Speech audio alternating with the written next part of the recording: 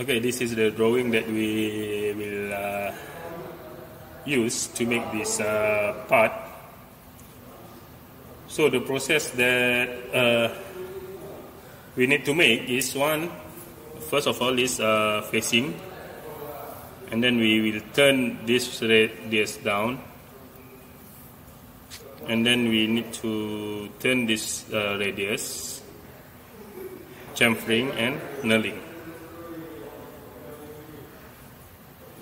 okay first uh, I will show you on how to insert uh, how to insert uh, a tool into the holder so this is the cutting tool roughing so first slot in the tools here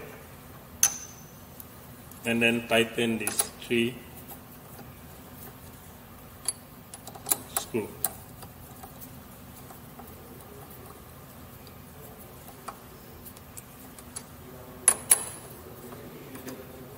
So now the tools are in the right place.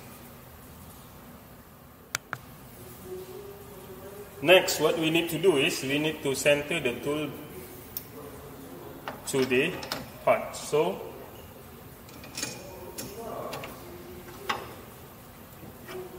first, what we need to do is we need to slide this tailstock, then insert the tailstock, then we move the tailstock to the cutting tool.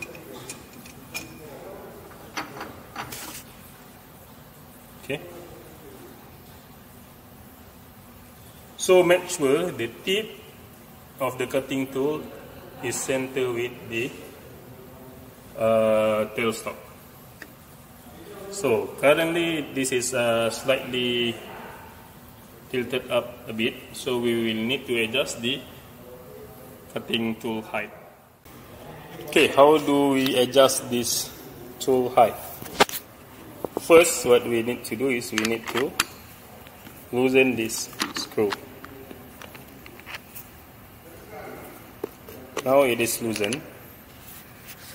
To adjust it, move this screw up and down until we get a center. Okay, then we tighten it back again. Now that the tool bit has uh, been centered, so we need to place this tool back to its uh, original position because if we set it like this, we cannot cut the part. So set it straight here and then tighten this top screw.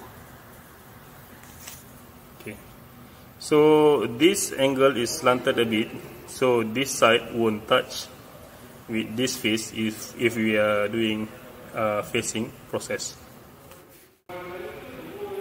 Okay, now this uh, tailstock, uh, we have finished using it, so how to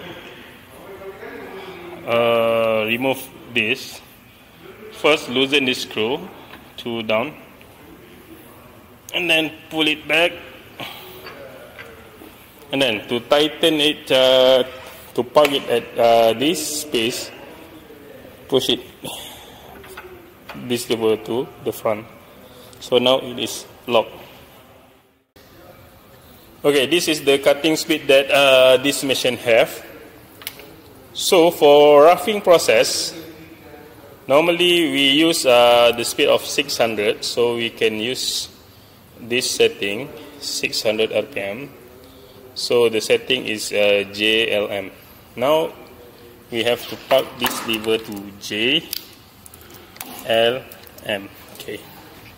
Later, if we want to uh, change this to high speed for finishing, we can use this setting HLP or GLP.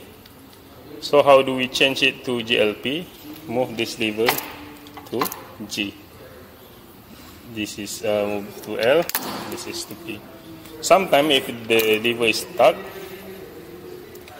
we need to turn uh, this spindle so that uh, we can engage the gear. Okay, first what we need to do is we need to power on this machine.